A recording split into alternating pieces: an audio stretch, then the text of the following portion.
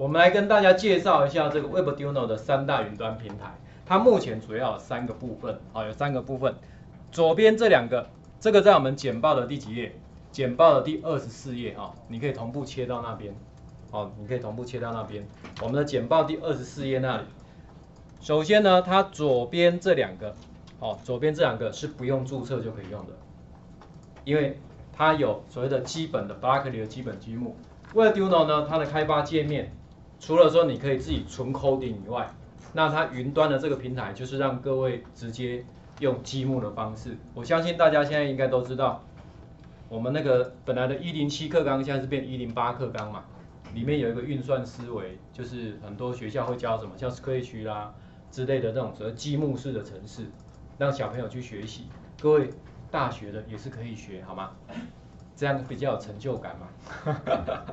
好，所以呢，它这三个都是属于积木式的。好，都是积木。那它使用的是 Google 的 Berkeley，好，Google Berkeley 的的这个开源的一个编辑环境，所以也会很简单。那我们刚刚提到的左手边这两个，这个它 Berkeley 免注册，它有提供比较常用的这个积木程式。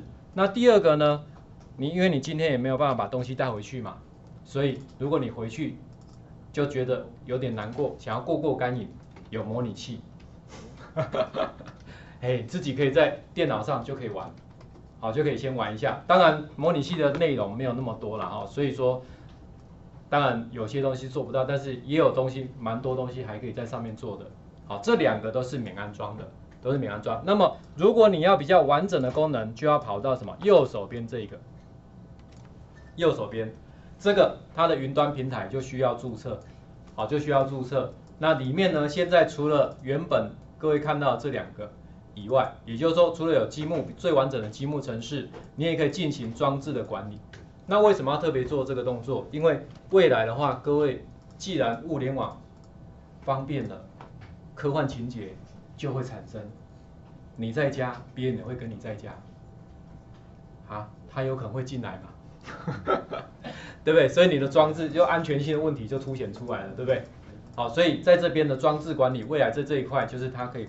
控管比较多，那另外呢，就是如果各位你要做所谓的韧体的更新，因为其实这些东西都会不断的更新，好，所以韧体的更新你就可以怎么样，透过这边来进行，在线上直接进行，这样比较快。另外呢，在这边现在其实还有两个我没有抓进来的，就是在这里也有模拟器，那以后这个模拟器目前是一样，但是以后这个模拟器也会功能比较多。还有一个就是如果你想要写什么。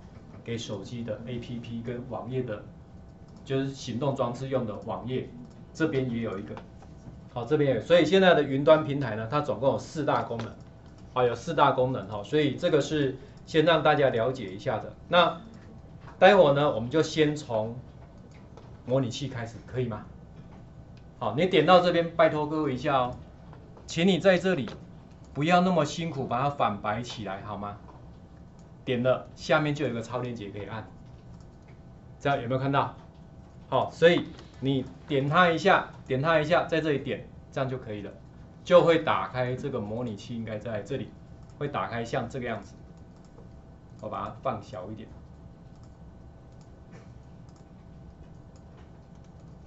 这样有没有看到模拟器的？